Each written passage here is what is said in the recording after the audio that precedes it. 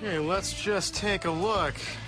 So, if you are a woman, some politicians would like to control your body here, okay, here, right here, and here.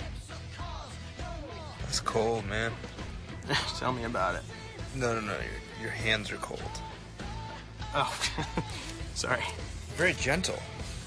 Well, been told that, yeah.